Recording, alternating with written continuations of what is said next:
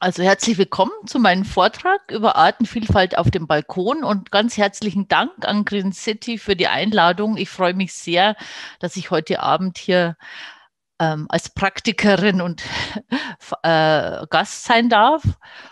Ähm, und ich möchte Ihnen heute Abend Tipps geben, wie Sie Ihren Balkon in ein kleines Insektenparadies verwandeln können, indem Sie mit Wildpflanzen in Töpfen und Blumenkästen auf Ihrem Balkon gärtnern.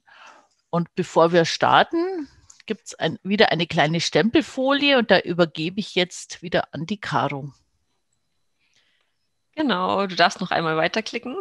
Ah, ja. Ja, genau. Wir haben ja schon äh, jetzt ein bisschen erfahren, wie, wie, wie erfahren ihr so seid, aber jetzt dürft ihr gerne nochmal hier in die, in eins der fünf Bilder oder auch in mehrere reinstempeln.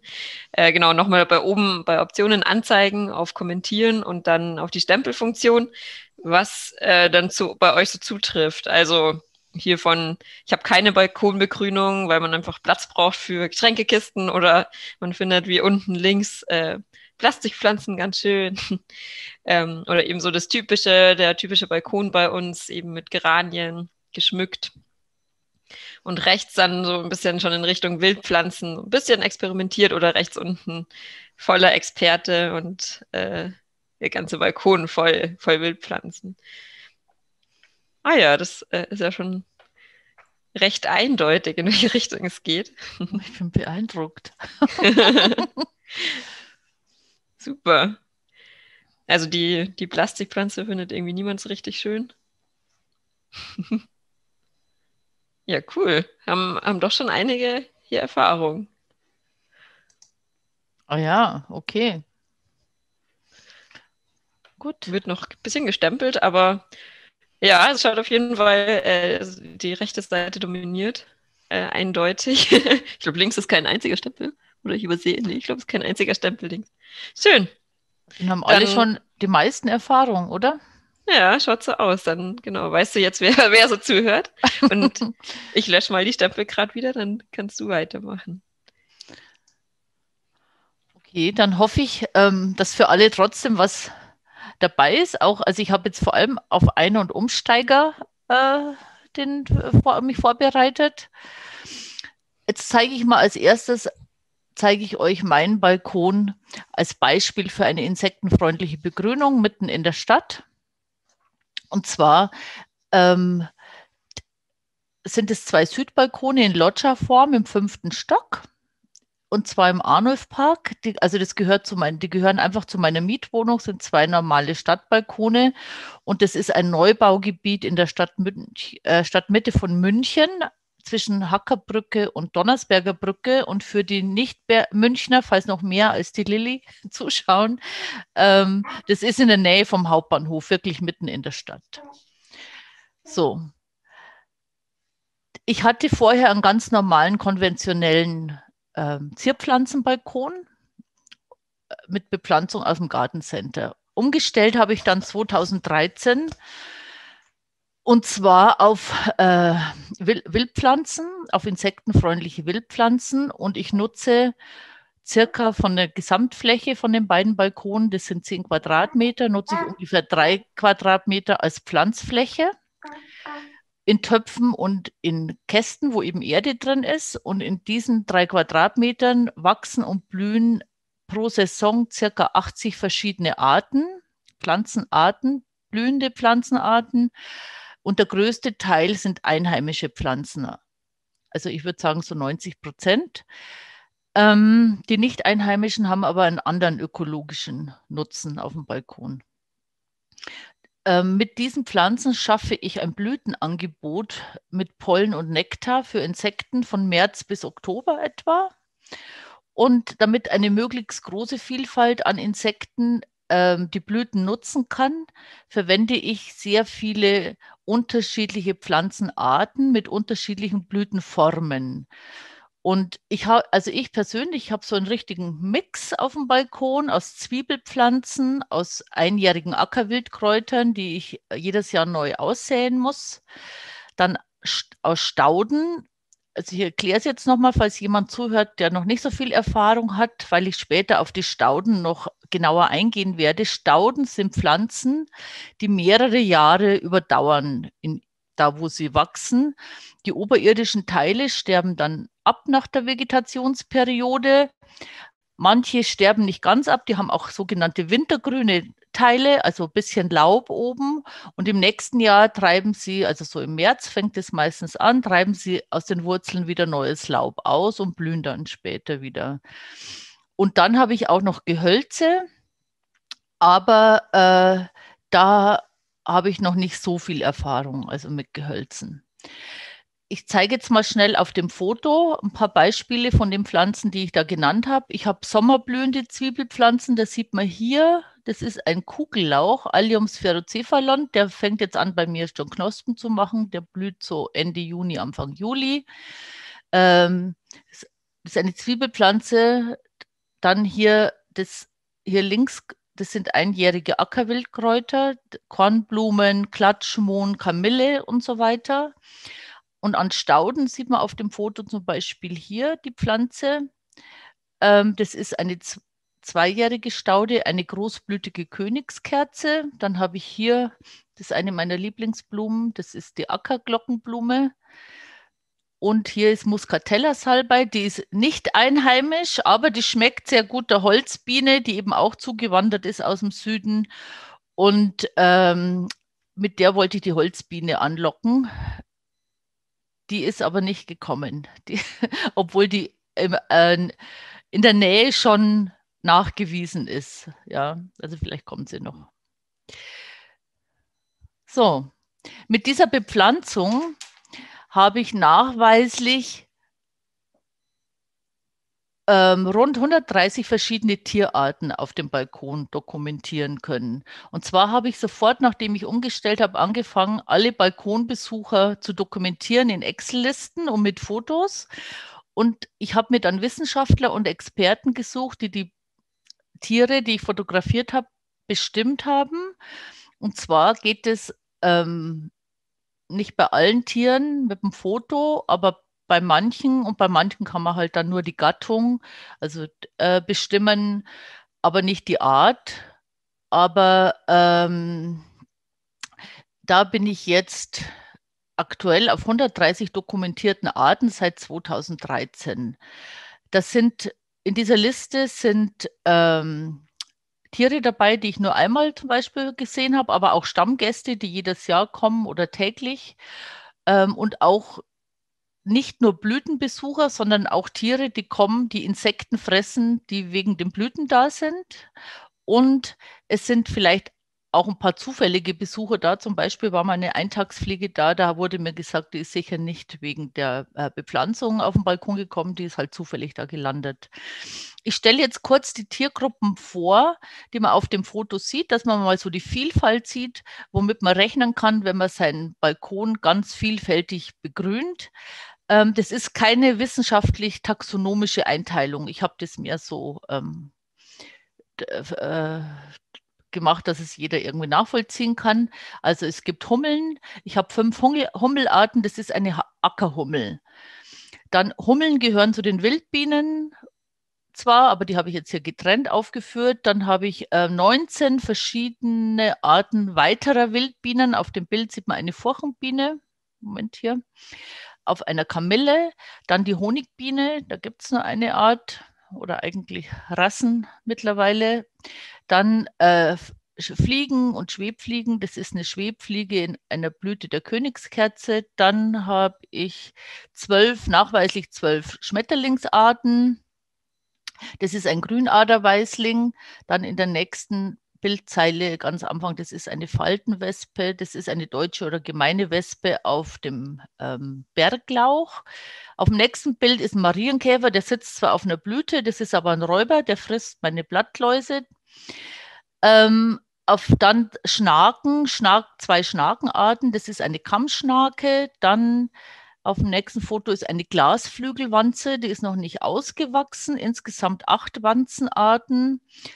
Ähm, dann ganz hinten die Ameise, die bei mir nachgewiesen ist, die Ameisenart, die sitzt hier auch auf einer Blüte der wilden Möhre. Da sieht man, dass Ameisen auch ähm, die Blüten nutzen als Energiequelle.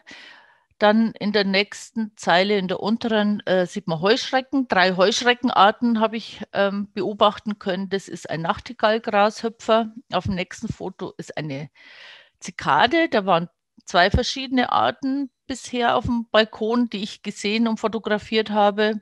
Das ist Ribau-Zwinker-Zikade. Dann auf dem nächsten Foto sieht man den gemeinen Ohrwurm. Den konnte ich da fotografieren, nachdem er sich frisch gehäutet hatte. Und ähm, dann kommen wir zu den Spinnen, zu den Achtbeinern. Es sind insgesamt, habe ich 18 verschiedene Spinnenarten bestimmen lassen. Das ist eine ganz kleine, circa 5 mm große Zebraspringspinne. Und es waren ähm, sieben verschiedene Vogelarten bisher auf dem Balkon und man sieht einen Stieglitz auf dem Foto. Auf den komme ich später noch zurück. Die, kommen, die Stieglitze kommen jedes Jahr. So. Ups, warum geht das jetzt nicht? Jetzt. Warum habe ich umgestellt von Gartencenterblumen auf Wildblumen? Was ist die Problematik daran? Ähm, Erstens mal, die Pflanzen sind meistens Exoten. Exoten heißt, sie kommen aus anderen Teilen dieser Erde. Zum Beispiel kommen die Geranien aus Südafrika. Und unsere Insekten können die Pflanzen aus anderen Teilen unserer Erde oft nicht nutzen, weil zum Beispiel die Blütenformen so gebaut sind, dass sie nicht an den Nektar gelangen. Oder es gibt auch äh, spezialisierte Insekten, die nur zum Beispiel Bienen, ähm, die den Pollen für ihren Nachwuchs brauchen, um äh, die Brutzellen damit zu verproviantieren, sind oft spezialisiert. Da zeige ich gleich noch ein Beispiel. Und die können Pollen von diesen Pflanzen, die woanders herkommen, einfach nicht nutzen. Ähm, es gibt ein einziges Insekt, das Geranien bei uns nutzen kann. Das sind Taubenschwänzchen. Das ist ein Falter. Der hat einen fast 30 Millimeter langen Rüssel und der schafft es, den Nektar daraus zu saugen. Das zweite Problem der Gartencenterpflanzen ist, dass die oft gefüllte Blüten haben, wie die, die Rose. Also das sind lauter Fotos von meinem Balkon übrigens. Ja? Also ich habe alles falsch gemacht vorher, was man falsch machen kann.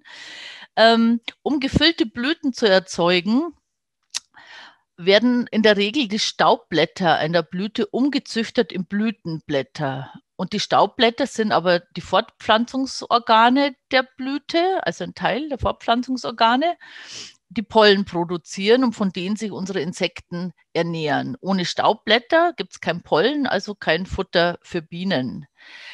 Der zweite Nachteil ist, dass diese vielen Blütenblätter den Weg zum Nektar versperren, falls überhaupt noch Nektar produziert wird. Und das ähm, Insekten, die versuchen dann an den Nektar zu kommen, und nicht reinkommen, für die ist es oft eine Energieverschwendung. Also die verbrauchen Energie, die sie ähm, für sinnvolle Sachen verwenden könnten. Das dritte Problem an unseren Balkonpflanzen ist, also an den Balkonpflanzen aus dem Gartencenter, die nicht bio sind, ist, dass im konventionellen Gartenbau die Pflanzen oft unter einem sehr hohen Einsatz von Pestiziden erzeugt werden. Die Pflanzen werden oft mit ganzen Giftcocktails behandelt, damit die dann so makellos aussehen, wie sie uns im Handel präsentiert werden. Ähm, das ist ein bisschen so wie bei den Lebensmitteln.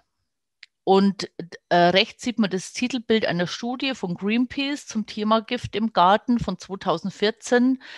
Und die findet man im Internet. Und da sieht man, also das ist eine Metastudie äh, in vielen europäischen Ländern und wie viel Gift auf diesen Pflanzen dann zurückbleiben bleibt. Und äh, wenn man das, die Pflanzen sich auf dem Balkon holt, dann holt man sich das Gift mit auf den Balkon und das ist weder für Tiere noch für Menschen ähm, gesund. Ein kurzes Beispiel. Hier an dieser Stelle bei Green City hat der Herr Fleisch, Dr. Fleischmann vom Botanischen Institut vor einem Jahr ungefähr ähm, gesagt, dass die Zwiebeln und Knollen von unserem Frühjahrsblühen so stark gebeizt sind mit Neonicotinoiden, dass der Nektar im ersten Jahr bienengefährlich ist. Also kaufen Sie nie wieder Krokusknollen und andere Zwiebeln aus dem konventionellen Handel am besten. Also diese Gartencenterpflanzen kann man zusammengefasst sagen, sind ähm, großblütig, bunt, blühen auch lange, weil sie oft ähm, so gezüchtet eben sind, dass sie nicht befruchtet werden können und dann, und dann nicht verblühen. Ähm, die sind absolut auf die Bedürfnisse des Menschen hin alleinig optimiert. Der ökologische Wert für unsere Insekten ist null. Sie können sich auch Plastikblumen auf den Balkon stellen. Also das hat den gleichen Wert für Insekten. Und so gelingt Artenvielfalt auf dem Balkon auf jeden Fall nicht. Ja. Warum sind die einheimischen Wildpflanzen so vom Vorteil? Da mache ich äh, einen kleinen Exkurs. Es ist so, dass es ist nicht so, dass nicht, oder wie soll, ich das jetzt sagen, nicht alle Wildpflanzen, nicht alle Exoten können nicht genutzt werden. Also es gibt auch äh, Exoten, die genutzt werden können. Das sieht man ja auch zum Beispiel an invasiven Pflanzen wie dem äh, drüsigen Spring Springkraut, das von Hummeln und Bienen äh, für den Nektar genutzt wird. Aber mit einheimischen Wildpflanzen werden sie mit sehr hoher Wahrscheinlichkeit für viel mehr Insekten ein Nahrungsangebot auf ihrem Balkon machen können. Woher kommt das?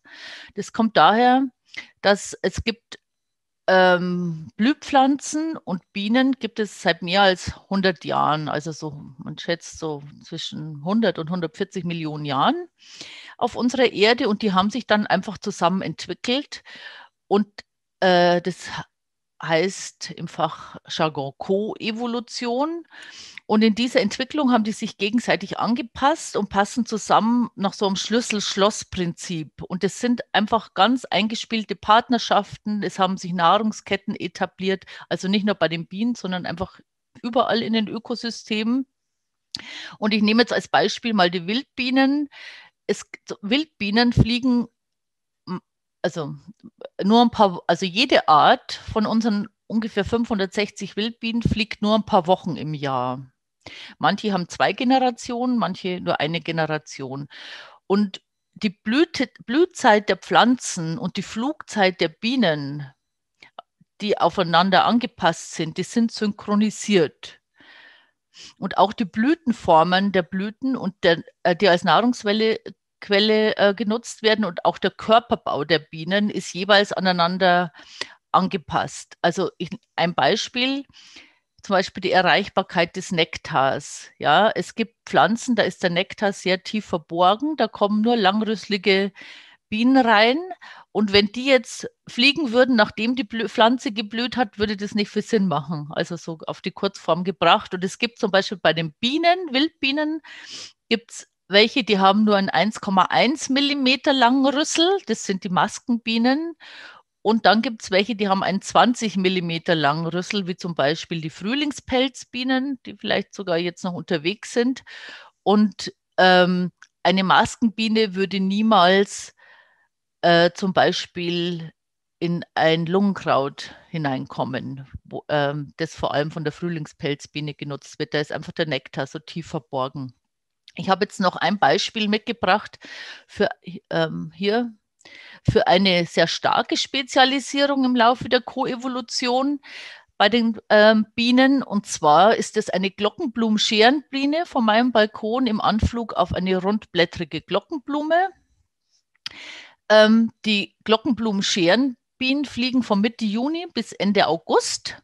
Und diese, die, die, also das ist so eine von den ersten Glockenblumen, die bei mir aufblüht und die blüht so Mitte Juni auf. Eben, also die, das ist total aufeinander abgestimmt und das Foto ist vom 17. Juni zum Beispiel. Und diese Glockenblumen-Scherenbienen, die sind eben auf Glockenblumen spezialisiert, der Gattung Campanula oder auf eng verwandte ähm, Pflanzenarten. Und Englisch, also der Fachbegriff ist oligolektisch. Das muss man sich jetzt nicht merken. Aber das bedeutet, also diese enge Spezialisierung, diese Biene würde für ihren Nachwuchs, also der Pollen wird, die sind spezialisiert, das muss ich noch sagen, nur beim Pollen, nicht beim Nektar. Also die Wildbienen sind spezialisiert beim Pollen, den sie ernten und als Nahrung für ihre Bienenkinder, für die Larven eintragen. Und äh, spezialisiert heißt, diese Biene würde, auch wenn andere Arten von Pollen, äh, Pflanzen mit Pollenquellen da wären, ich sage mal Löwenzahn oder ein Ochsenauge, also Korbblütler, die würden den Pollen nicht nehmen. Die nehmen nur Pollen von Glockenblumen. Das heißt, keine Glockenblumen, keine Glockenblumenscherenbienen mehr. Und da hilft einem halt so ein Exot auf, also eine exotische Pflanze auch nichts. Also es müssen einfach die Pflanzen angeboten werden, ähm, die unsere einheimischen Tiere halt brauchen. Ein zweites Beispiel, wie die Pflanzen genutzt werden auf dem Balkon, ist auch ein Nahrungsangebot äh, für Vögel.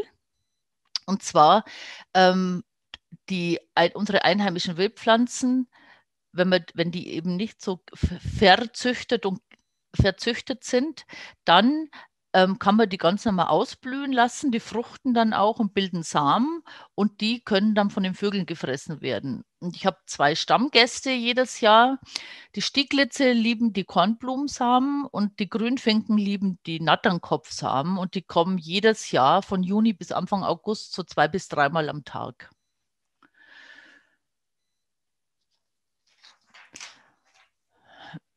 Wenn Sie jetzt äh, vielleicht ein bisschen Lust bekommen haben, dass es bei Ihnen auch summt und brummt und piepst, dann möchte ich jetzt für Einsteiger und Umsteiger, also anscheinend gibt's, haben da schon viele Erfahrungen. Ich hoffe, die Tipps nützen jetzt trotzdem was. Also mein Tipp ist, ähm, wenn Sie es ganz unkompliziert haben wollen, nehmen Sie Stauden. Stauden sind eben, wie ich schon gesagt habe, dauerhaft mehrjährige Pflanzen. Die müssen Sie einmal pflanzen und die bleiben dann einfach ein paar Jahre im Topf. Ich habe Pflanzen, die habe ich seit 2015 zum Beispiel. Sie können ohne Vorkenntnisse als Gärtnern anfangen. Sie kriegen diese Pflanzen einpflanzfertig vom Staudengärtner in so kleinen Töpfchen. Ähm, und Sie können auch das ganze Jahr Stauden pflanzen, von März bis September. Wenn Sie jetzt sagen, ah ja, interessiert mich, aber ich habe erst im Juni Urlaub und kann mich im Juni darum kümmern, Sie können auch im Juni anfangen, im Juli, wann immer Sie Zeit haben. Und diese Pflanzen sind dann sehr pflegeleicht. Man muss die nur regelmäßig gießen und dann noch ein bis zweimal im Jahr düngen. Und mehr muss man nicht machen. So. Wieso geht es nicht? Gut. Ich habe jetzt mal, also ich habe ja gesagt, beim Balkon, da habe ich ein Blütenangebot äh, von März bis Oktober mit verschiedenen Pflanzen. Ich zeige Ihnen jetzt pro Monat in der, unserer Vegetationszeit ein Beispiel an Stauden. Also Sie können allein mit Stauden ein ganzjähriges Blütenangebot schaffen. Es fängt an, äh, hier links oben, mit Lungenkraut, geflecktes Lungenkraut, das fängt an im März zu blühen. Auf dem nächsten, der ist sehr beliebt äh, in der Natur draußen bei den Hummelköniginnen, die im März aus der Erde kriechen. Dann auf dem nächsten Foto sieht man eine gehörnte Mauerbiene am äh, Frühlingsfingerkraut. Dann links unten ist eine Sorte der Alpenaster Pinky, die hat sehr attraktive rosane Blüten, wird auch ähm, gern im Frühjahr bei mir angeflogen. Auf dem nächsten Bild sieht man eine Ackerglockenblume, Blüte mit einer Hummel, die da ähm, reinkriechen möchte. Dann geht es weiter mit im Juli fängt an die die echte Bergminze zu blühen. Da ist auch eine Hummel dran. Die ist sehr lang, die blüht bis Oktober, November. Die kann ich sehr empfehlen. Auf dem nächsten Bild sieht man Berglauch. Der Berglauch blüht im August. Da ist jetzt mal ein Tagpfauenauge drauf. Schmetterlinge sind nicht so häufig Gäste auf dem Balkon, kommen aber auch manchmal. Dann auf dem unteren Foto links, das ist eine Sedumart. Das ist die hohe äh, Fetthenne. Da ist eine Blumenfliege drauf. Also die, die heißen so. Und ähm, rechts unten, das ist jetzt mal keine einheimische Art, das ist die Pyrenäen Asta und die habe ich deswegen ausgewählt, weil die sich bei mir auf dem Balkon oder für, für den Balkon sehr bewährt hat. Die blüht wahnsinnig lange, von August auch bis äh, Oktober ungefähr fast bis in November hinein. Und ich habe auch einheimische Asternarten auf dem Balkon, die Goldhaaraster und die äh, Kalkaster.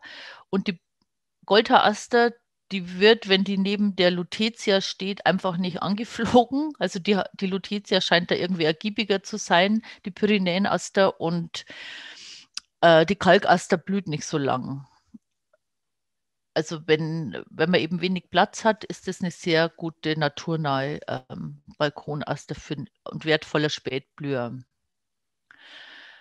So, und bevor wir jetzt zur nächsten Folie kommen, machen wir nochmal eine kleine Umfrage bei Ihnen und ich übergebe wieder an die Caro.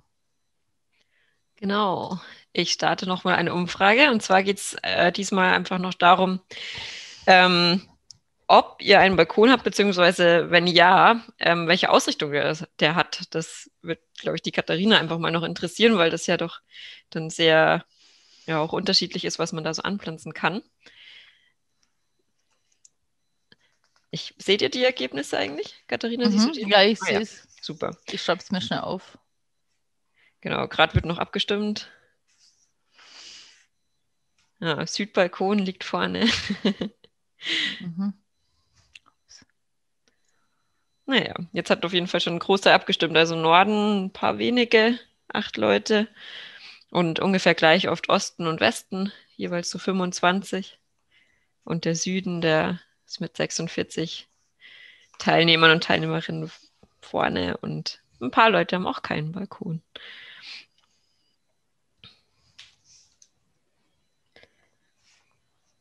Genau, dann beende ich mal die Umfrage wieder, dann kannst du wieder weitermachen. Mhm. Kann ich die, wie kann ich denn die zumachen? Kann ich. Ich kann das Pop-up. Nee, das, ich sehe es immer noch, das Pop-up. Ah, okay. Ähm, dann. Jetzt müsste es weg sein, oder? Nee. Hm, vielleicht, warte mal, wenn ich blätter. Nee, bei mir ist es noch auf dem Bildschirm. Eigentlich also müsste es oben rechts mit dem Kreuz. Jetzt ist es so. Okay. Ah, ja, das war bei mir verdeckt von, den, von der Bildleiste. Mhm. Okay, also die gute Nachricht für die, dass die Hälfte ungefähr hat einen sonnigen Balkon. Es gibt natürlich am aller, also was natürlich, es gibt am allermeisten Auswahl an Stauden für sonnige Balkone. Ich, ähm, ich habe jetzt hier vier Beispiele nur mitgebracht. Also es gibt wirklich viele, viele, viele Stauden an Größen, an Farben, an Blütenformen. Es gibt eine riesengroße Auswahl an Stauden, die im Balkon gedeihen, im, im Kasten und im Kübel. Und das sind jetzt mal vier Beispiele von meinem Balkon. Äh, links oben eine sehr wertvolle Pflanze, die Wiesenflockenblume. Da ist eine Wildbiene drin, die das erkenne ich jetzt nicht auf dem Foto, was, wer das ist. Dann auf dem nächsten Bild sieht man die gelbe Skabiose, die ist sehr trockenheitsverträglich und sehr langblühend. Ich habe eine, ein, eine Pflanze, ich habe ungefähr vier gelbe Skabiosen, die sind auch so ein bisschen unterschiedlich, weil die genetische Vielfalt bei den Wildpflanzen noch gegeben ist. Das sind die Individuen auch manchmal unterschiedlich. Und eine habe ich, die blüht jetzt von Mai bis Oktober auch durch. Und da sieht man ein Taubenschwänzchen dran, das ist das Insekt, der Falter, der auch in die Geranien reinkommt, da sieht man den langen Rüssel. Auf dem nächsten Foto sieht man ähm, die ästige Graslilie mit einer Hummel im Anflug. Die ästige Graslilie wächst ganz großflächig in der Allacher Heide und das ist wunderschön. Ähm, und da würde ich jedem mal empfehlen, einen Ausflug hinzumachen, wenn die blüht. Und auf dem nächsten Bild sieht man den gewöhnlichen Hornklee, auch eine Pflanze, die von sehr vielen einheimischen Wildbienen genutzt wird. Und auf dem Foto sieht man die ähm, weißfleckige Wollbiene. Die habe ich tatsächlich nur einmal gesehen und fotografiert, mit dem Foto erwischt. So. Jetzt Beispiele für halbschattige Balkone. Also die Nord-, die Ost- und Westbalkonler, die müssen einfach gucken, also da gibt es ja unterschiedliche ähm, Standorte, also bei manchen, die haben doch noch mehr Sonne, manche weniger. Man kann, äh, wenn man doch so sechs, vier bis sechs Stunden an Sonne zusammenbringt, kann man Pflanzen nehmen, die für sonnig bis halbschattig gehen. Wenn man eher, wenn es eher Richtung ähm, äh, nur vier, vier, Stunden bis ja so vier Stunden Sonne am Tag geht, sollte man eher gehen von halbschattig bis schattig. Aber ich habe, also ich kenne mehrere Personen, die haben West, einen Westbalkon und die haben auch, die probieren das immer aus. Es gibt auch Pflanzen, die gut zurechtkommen, wenn sie nicht die idealen ähm, Standortbedingungen haben. Da muss man ein bisschen an seinem eigenen Standort experimentieren. Man kann aber nicht komplett gegen, äh, also man kann nicht Pflanzen die, die vollsonnig mögen jetzt in einen, also mit drei Stunden Sonnenlicht werden die nicht viele Blüten machen. Das sind jetzt vier ähm, Pflanzen, die im Halbschatten Blüten bilden. Die sind bei mir an einem halbschattigen Standort. Und zwar ist das links oben die Frühlingsblatterbse, die blüht im April. Das ist ein total tolles Pink. Dann die nächste Pflanze ist eine große Sternmeere. Auf dem nächsten Bild sieht man die Waldwitwenblume, die blüht dann ab Juni. Da macht, habe ich zwei Pflanzen in einem Topf. Das sind dann immer ungefähr 60 bis 80 Blüten, ähm, die sehr stark besucht werden. Und rechts unten, das ist das Mauerzimbelkraut. Das ist eine Pflanze, die so filigrane Vorhänge bildet und hängt. Und da ist eine gehörnte Mauerbiene zu sehen. Für die Menschen, die jetzt zuhören, die einen Nordbalkon haben. Es gibt Nordbalkone, ähm, die sind hell, obwohl keine Sonne direkt drauf scheint. Also wenn genügend Licht da ist, kann man das mit diesen halbschattigen Pflanzen auf jeden Fall mal probieren.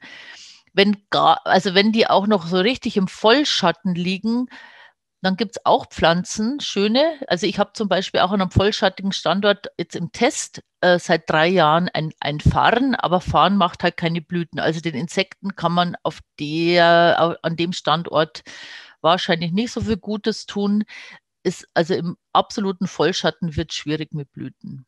Aber es gibt Pflanzen, ähm, die auch im Schatten gedeihen.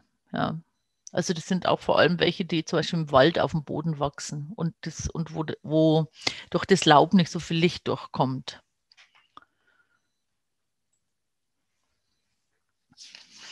So, die gute Nachricht war, man kann die, es gibt eine riesengroße Auswahl, also auch für äh, äh, Ost- und Westbalkone. Wo kann man diese Pflanzen kaufen? Das ist jetzt eine, äh, eine eher schlechte Nachricht.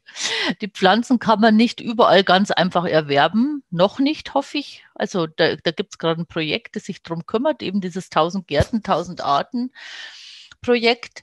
Aber aktuell ist es so, dass es diese dass es unsere einheimischen Wildpflanzen nur in sehr spezialisierten Gärtnereien zu kaufen gibt.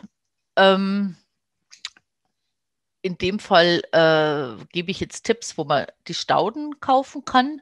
Und zwar gibt es eine Kooperation zwischen dem Naturgartenverein und Bioland seit 2009. Und diese Kooperation, die zertifiziert zweimal. Das sind dann Fachbetriebe für naturnahes Grün, die praktisch nach Bioland-Richtlinien hm, Pflanzen produzieren und der Naturgartenverein, wer den nicht kennt, der hat das Ziel, die Artenvielfalt im Siedlungsbereich zu erhöhen mit naturnaher Bepflanzung. Und ich bin da auch Mitglied. Es gibt in München eine Regiogruppe, wenn das interessiert. Und ich betrachte meinen Balkon zum Beispiel als Kleinst-Naturgarten. Das ist halt ein Topfgarten. Ähm, wo finden Sie diese Betriebe? Die Betriebe können Sie auf der Webseite vom Naturgartenverein unter naturgarten.org finden und zwar unter dem Navigationspunkt Mitgliedsbetriebe hier oben. Und dann nochmal gibt es einen Unterpunkt Fachbetriebe. Also nicht alle Mitgliedsbetriebe sind Fachbetriebe. Sie müssen auf die Fachbetriebe gehen und da kann man deutschlandweit ähm, Betriebe selektieren, nach Postleitzahlen suchen und einen Betrieb in der Nähe aussuchen.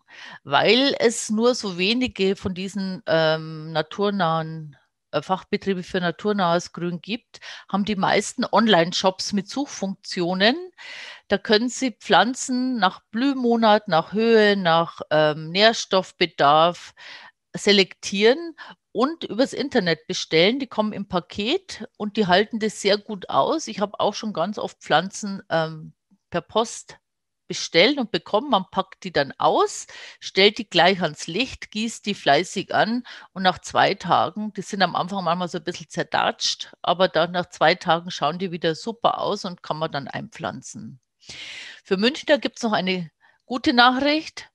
Ähm, so ungefähr 75 Kilometer südlich von München ist, der, ist die nächste Staudengärtnerei für naturnahes Grün. Das ist die Staudengärtnerei Spatz und Frank. Und also für alle Empfehlungen, die ich jetzt und äh, im Folgenden noch aussprechen werde, bekomme ich nirgends eine Provision oder die wissen das gar nicht, dass ich die empfehle. Ich mache das einfach, weil das so wenig bekannt ist und gebe hier meine Erfahrungen weiter, damit sie sich nicht so lang ähm, durchsuchen müssen. Und das ist, äh, das ist in Kreilhof, das ist in der Nähe von Weilheim. Und da kann man mit dem Zug leider nicht direkt hinfahren. Da kommt man nur bis Hugelfing und dann sind es noch acht Kilometer. Also wenn man selbst hinfahren will und die Gärtnerei besuchen möchte, dann sind es ungefähr 75 Kilometer. Im Auto direkt eigentlich nach Süden.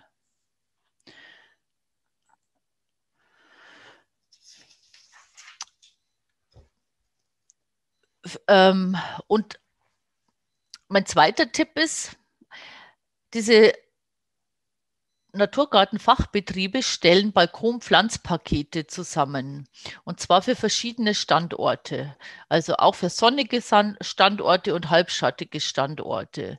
Und ich habe jetzt einfach ein paar Stichproben gemacht, also von Spatz und Frank, da weiß ich es, da habe ich selber eben schon welche gekauft und äh, eben auch zum Testen gekauft, um es auszuprobieren.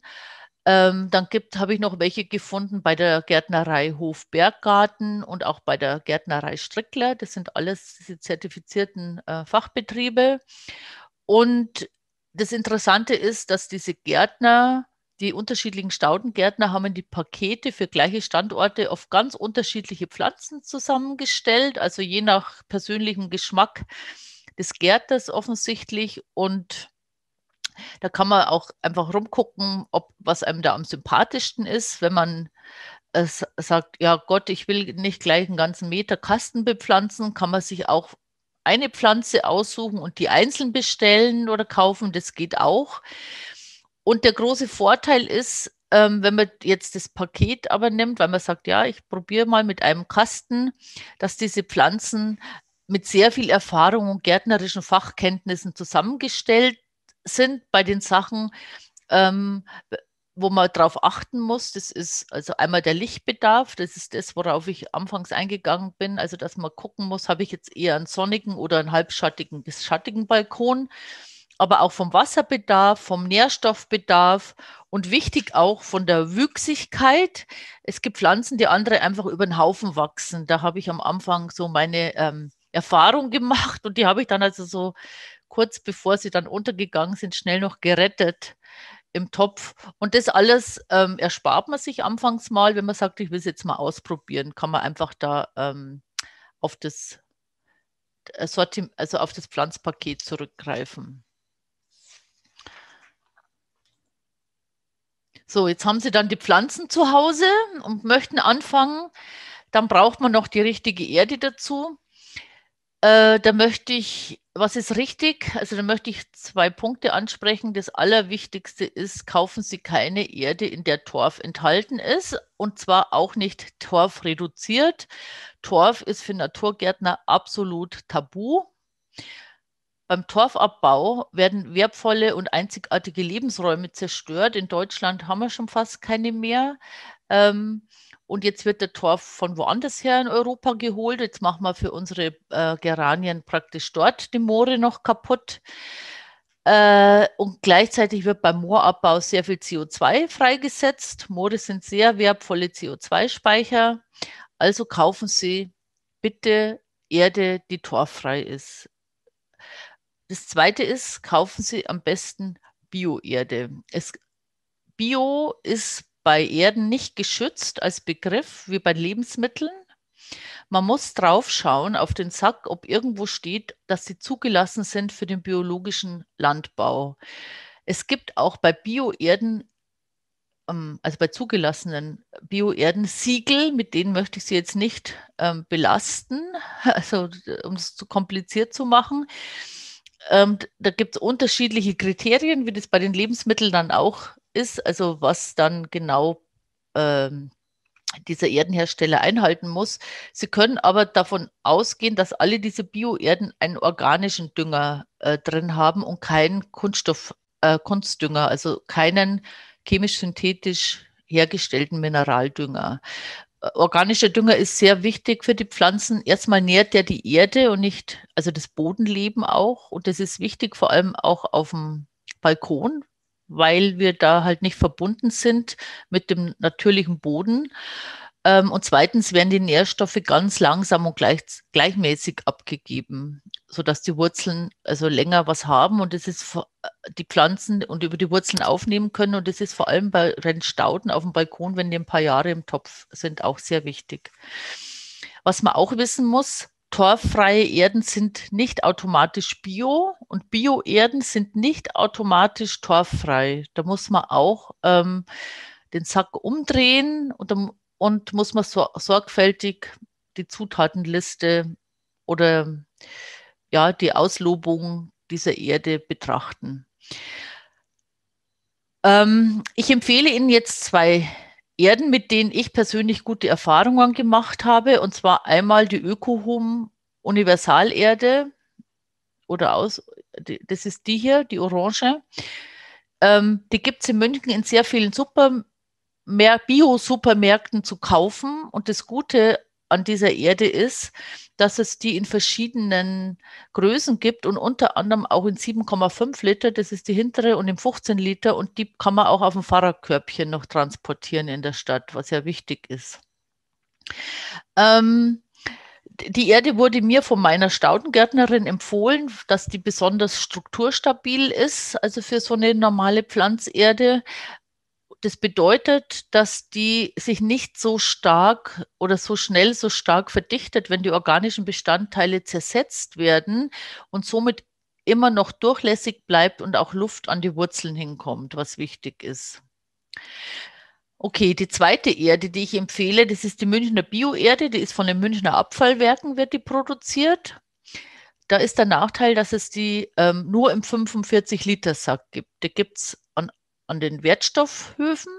Also die läuft unter Münchner Erden unter der Marke, aber mit, also mit dem 45 Liter Sack wird es auf dem Fahrrad ein bisschen schwierig, außer man hat ein Lastenfahrrad. Der Vorteil dieser Erde ist, sie tun was für die regional, also für die lokale Kreislaufwirtschaft. Die werben auch damit, dass ihr Apfelputzen sozusagen dann wieder als Erde zu ihnen zurückkommt, indem sie neue Sachen drin äh, pflanzen können. Ein Tipp noch, dadurch, dass die Pflanzen, die Stauden ähm, so lange im Topf bleiben, ist es sehr wichtig eben, dass die Erde durchlässig bleibt, strukturstabil bleibt, dass es keine Staunässe entsteht. Ähm, da gibt es von den Gärtnern ein, ein Tipp als Allround-Erdenrezept. Mischen Sie zwei Drittel von dieser torfreien Biopflanzerde mit einem Drittel Sand. Wenn möglich mit lehmigem Sand. Lehmiger Sand ist Sand, der nicht gewaschen wurde. Die lehmigen Anteile, da halten die Nährstoffe noch besser. Ich, den kann man kaufen, zum Beispiel in der Bodenbörse München West, also in einem Erdenwerk. Da holen ich immer, auch mit dem Auto, die, die ist sehr schwer und da kostet aber ein ganz großer Sack nur drei Euro. Ähm, die andere Möglichkeit ist, Spielsand zu, zu nehmen. Den gibt es abgesackt im Baumarkt. Also ist einfacher, erhältlich. Da müssen Sie nur drauf, das geht auch. Also das sagen die Gärtner, Spielsand geht auch. Ähm, da müssen Sie nur darauf achten, dass der TÜV geprüft ist. Das steht drauf. Und schadstofffrei. Ich habe da Verzeichnisse im Internet gefunden, wo die getestet wurden. Diesen Sack, den Sie da sehen, den habe ich fotografiert beim Kindergarten des Bayerischen Rundfunks, den es hier im Viertel gibt im Arnulf Park und ich habe das jetzt nachgeschaut na, und also der stand da bei denen vor der Tür. Da habe ich mir gedacht, ah, den fotografiere ich, brauche ich mal für, für so einen Vortrag. Und der schneidet sehr gut ab, habe ich gesehen bei den Tests und beim TÜV. Aber mit dem, ich habe keine Erfahrung mit Spielsand. Also ich mache das mit ähm, der mit dem lehmigen Sand und Ökohom-Erde oder der Münchner Bio-Erde. Und das funktioniert sehr gut. Okay, wenn Sie jetzt sagen, ja, das äh, interessiert mich, das möchte ich machen. Ich habe also jetzt ein bisschen was erzählt, wie man starten kann. Aber wenn Sie ähm, sich noch weiter informieren wollen, dann möchte ich Ihnen das Wildpflanzentopfbuch von Reinhard Witt empfehlen. Die, in das schaue ich auch jede Woche rein, immer noch. Mm, der Reinhard Witt hat den Naturgartenverein gegründet und in dem Buch stecken 25 Jahre Erfahrung auch mit äh, dem Gärtnern von Wild, also mit dem Wildpflanzengärtnern in Töpfen. Seit 2017 ist mein Balkon auch als Beispiel mit drin. Er sucht immer Beispiele in ganz Deutschland, weil es halt noch nicht so verbreitet ist. Und äh, es kostet ungefähr 25 Euro.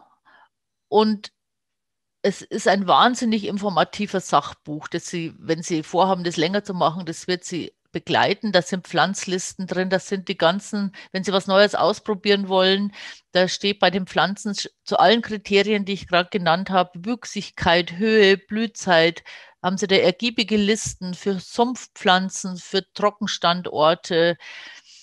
Ähm, also so ein wirklich schönes Ratgeberbuch. Wenn Sie kein Buch kaufen wollen, gleich, ja, ich will erstmal so rumprobieren, das ist mir viel zu, also eine zu große Investition, dann empfehle ich Ihnen ähm, meine Website, das Online-Magazin für insektenfreundliche Naturbalkone. Da teile ich meine Erfahrungen und Empfehlungen mit, was bei mir eben gut funktioniert hat oder nicht funktioniert hat. Und es gibt einen kompakten Ratgeberteil, wo eben zu den zum Gießen, zum Düngen, zur Erde, zur Pflanz zum Pflanzenkauf, wo Sie da kompakt alles ähm, zusammengefasst finden. Genau.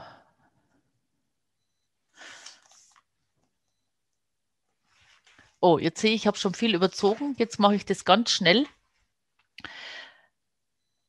Ich möchte Sie entlassen mit äh, dem Gefühl, dass es Sinn macht, wenn Sie anfangen ähm, und mit der Botschaft, dass jeder Blumentopf zählt. Und zwar ist es so, dass diese ähm, Wildbienen einen enormen Bedarf am Pollen haben für nur für die Brutzellen, also für ihren Nachwuchs. Und ich habe jetzt hier ein Beispiel. Das ist eine Biene, die relativ ähm, wenig noch Blüten sozusagen braucht, die sie beerntet. Also das schwankt zwischen zwei Blüten und 2800 Blüten, je nach Bienenart, was die am Pollen äh, brauchen, nur für eine Bienenlarve. Und hier ein Beispiel von meinem Balkon. Da habe ich zufällig in verschiedenen Studien und Büchern die Zahlen dazu zusammen ähm, suchen können. Und zwar diese das ist eine gewöhnliche Löcherbiene, die lebt ungefähr vier Wochen und in den vier Wochen macht die ungefähr acht Brutzellen. Und pro Brutzelle braucht die ungefähr 1,5 Blüten von, die, von dem Ochsenauge, von dem weidenblättrigen Ochsenauge. Das ist eine Pflanze, die Sie hier oben sehen. Das ist eine einzige. Und hier unten sieht man die Biene auf einer Pflanze, wie sie gerade Pollen sammelt. Und hier fliegt sie zurück. In, äh, die, die, wohnt bei mir in der Nisthilfe und trägt den Pollen ein und hier verschließt sie das Röhrchen dann außen. Um den Nachwuchs von einer Biene praktisch abzudecken, hätte jetzt diese Pflanze gereicht. Die braucht, also das sind ja alles Durchschnittsmengen, diese Pflanze hat 15 Blüten gemacht, 14 braucht die Biene ungefähr. Das heißt, mit meiner, mit meiner einzigen Pflanze habe ich den Nachwuchs von oder das, das, ähm, das Essen vom Nachwuchs von einer Biene sichergestellt. Und das finde ich, gibt ein, ein schönes Gefühl, wenn man das macht. Und damit danke ich für Ihre Aufmerksamkeit und gebe zurück an Green City.